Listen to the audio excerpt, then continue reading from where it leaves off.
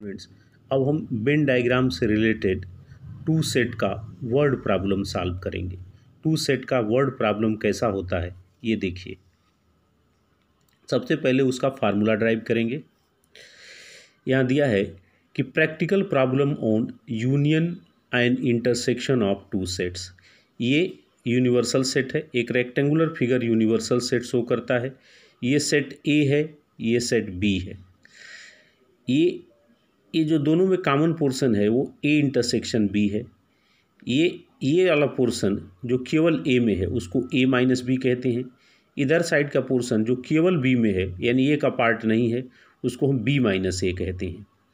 अब first condition इसमें है कि if A intersection B is equal to five five का मतलब है ए अलग सर्किल होगा बी अलग सर्किल होगा दोनों में कॉमन नहीं होगा कुछ भी।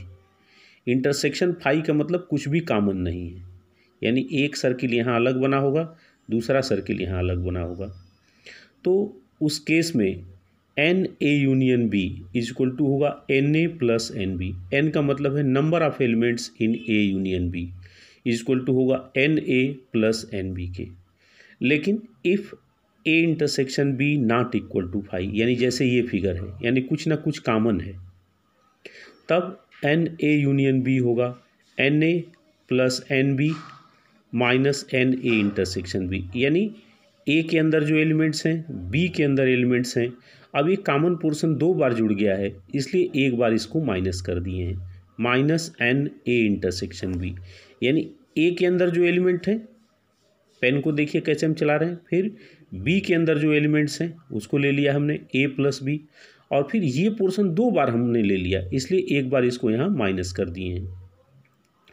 सेकेंड है A union B A union B का मतलब होता है A or B A or B A or B यानी number of elements in A union B ये इसके एलिमेंट्स इसके एलिमेंट्स और इसके एलिमेंट्स ए माइनस बी के ए इंटरसेक्शन बी के और बी माइनस ए के एलिमेंट्स अगर ऐड कर दिए जाएँ तो वो भी ए यूनियन बी शो करेगा.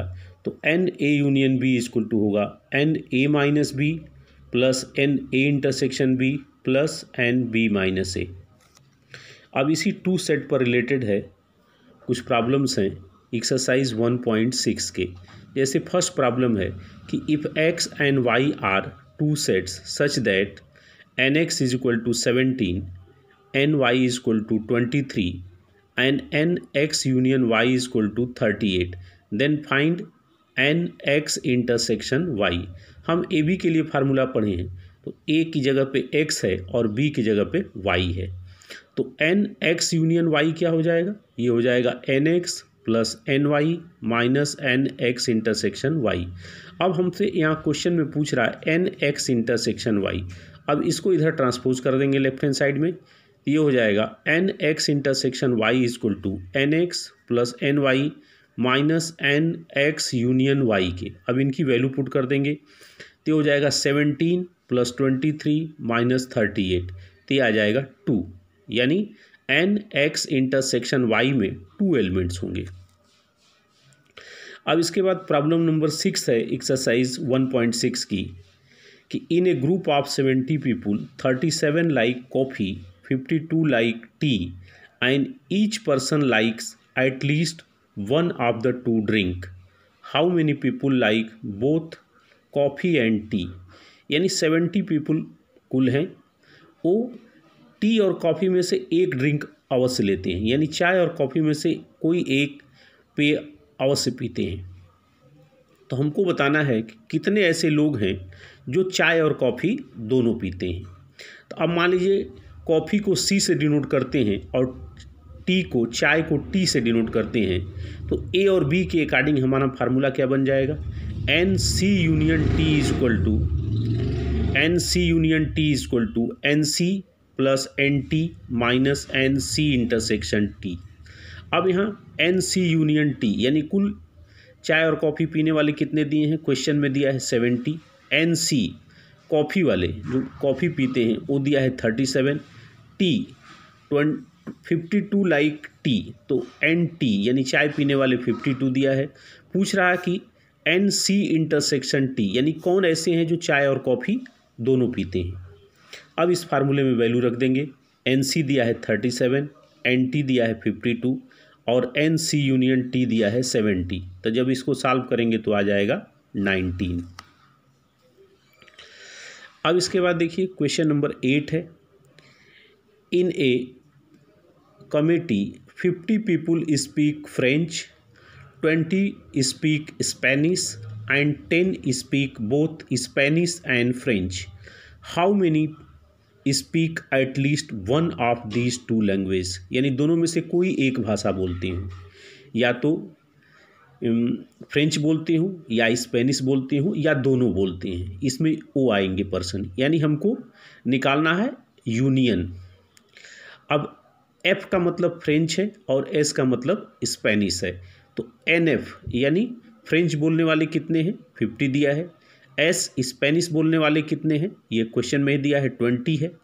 और कितने ऐसे हैं जो दोनों बोलते हैं? फ्रेंच और स्पेनिश दोनों बोलते हैं।